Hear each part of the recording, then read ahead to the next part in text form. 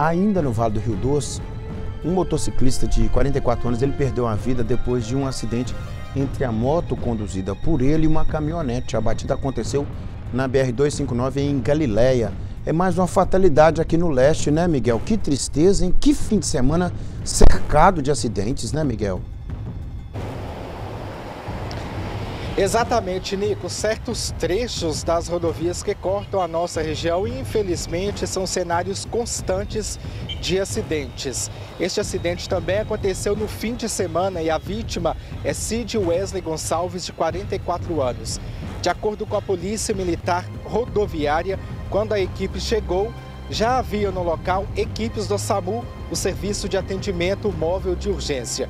De acordo com as informações apuradas no local, o motorista da caminhonete disse que foi para o lado direito da rodovia para fazer uma conversão e ao atravessar a pista, é, o motociclista veio e bateu na lateral da caminhonete. Com isso, né, ele foi arremessado também, os veículos ficaram estragados e Wesley morreu no local do acidente.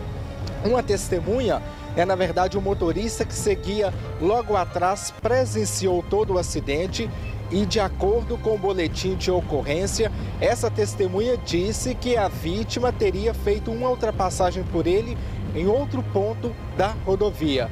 No entanto, as equipes compareceram ao local, a perícia também esteve no local, familiares da vítima compareceram na área do acidente também e após todos os trabalhos, o corpo de Wesley foi trazido para o IML de Governador Valadares.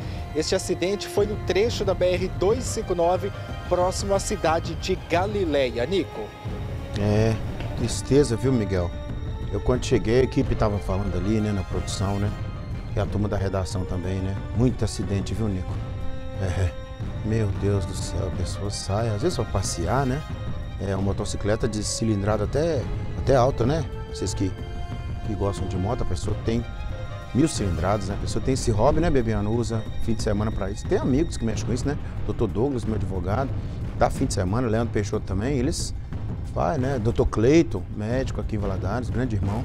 A turma, tem uma turma aí, é, reformados, né, veteranos da Polícia Militar, que também tem um grupo que eles fazem esse, essa ida e vinda, né? Aí a pessoa perde a vida aí, né? É, a motocicleta é um equipamento complicado, meu Deus. Obrigado, viu, Miguel? Obrigado, meu irmão. Depois você volta aqui no Balanço Geral. Chama pra mim o